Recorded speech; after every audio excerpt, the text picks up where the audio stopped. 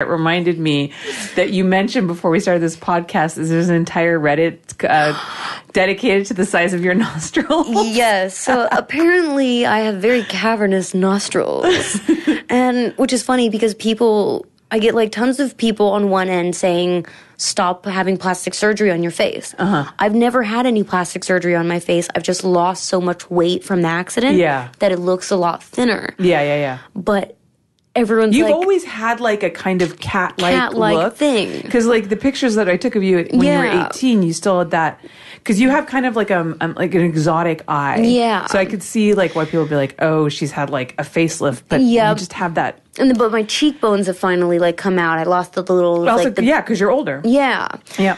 And it's just it's funny because they it's they go one way or the other. They're like, wow, she needs to like stop fucking with her face, and then the other one is like, wow, she needs to really fix those cavernous nostrils of hers. I don't think there's anything wrong with your nostrils for the record. I just thought it was funny that like someone had started a whole forum about it, and then a bunch of people chimed in, and it's become a thing. So I mean. I, I can't take offense to it, to be honest, because if someone's complaining about your nostrils on a forum, you must be doing something right. Yeah. Because I mean, damn, they have to pick the, mo- the They most minuscule. something. Yeah, that's that's funny. Like he's like, oh, it's it's so big, but I can't stick my dick in there. Like, damn it. like, wh- what was your thought behind that? Did you do you want to stick your dick up my nostril or what? Guys are always looking for new holes to put their dick in. you know, it's just not enough to have the vagina, Right. the asshole, and the mouth. and then fourth hole behind the, behind the knee. It's when you close your knee back and you jerk the dick off. I've never, knee. I have never done that. Fourth hole. What about? Can you, you could do it with your elbow. You could do you could do it with your elbow. I feel like that would be easier. It, you would think, but it just depends on the positioning of the angle. If he's standing and if you're laying on the bed on your side, Yeah. like it's it's very so if you're doing it's more like a jerking off motion when Mm. you have your leg up it's more of like a him fucking your leg motion hmm Interesting. Yeah. I, I, I should. I'm, I'm gonna try that. you know I'm gonna be like, I'm gonna go home and tell my boyfriend. I'm like, hey, I want to try something different. like, do you want to fuck the back of my knee? Like, what the fuck is wrong with you? Come on, baby, you're really hot. come on you know you want my knee. my Fuck knee. You know, Andrew Blake, who was a very famous director, um, like a decade back, uh, had an armpit fetish.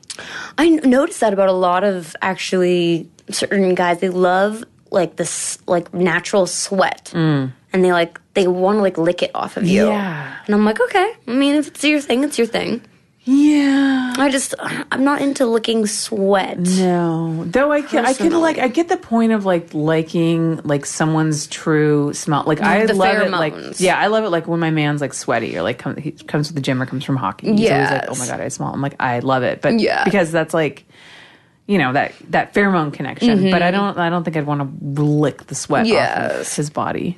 I think it's more funny when people seek out just like random people that they want to lick the sweat off them. Mm-hmm. Like it's like definitely like lick the sweat off your partner, but like lick the sweat off just some random person. Like Yeah, I know one everyone's person. got their thing. they they love it though. yeah, everyone's got their thing. Hey, you know what? God bless you. Right. If you want to lick the sweat off people's armpits, So- more power to you, people. We're not going to stop Do it. you. We will approve of it. We are not going to judge you. We will not judge you. as long as you don't judge my nostrils. yeah, there you go. All right, Madison. Well, thank you for coming on. Everybody, go follow her on social media if you haven't already, and make sure that you check out her scenes on Brazzers and her upcoming anal scene at some point. I can't wait to see how that comes out. I'm so excited. It's going to be amazing. And um, you guys can follow me at Holly Randall on Twitter and Instagram. And if you like this podcast, please, please, please go rate it and leave me a review. I would appreciate it so very much. And if you want to support me, you can go to patreon.com slash Holly Randall Unfiltered. And I have all kinds of cool perks and prizes there for my supporters. So thank you guys so much. I couldn't do this without you. Thank you, Madison. I couldn't do Thank this without you. you. And um, it was so good to see you. It was so good to see you. All right, guys, I will see the rest of you next week. Bye.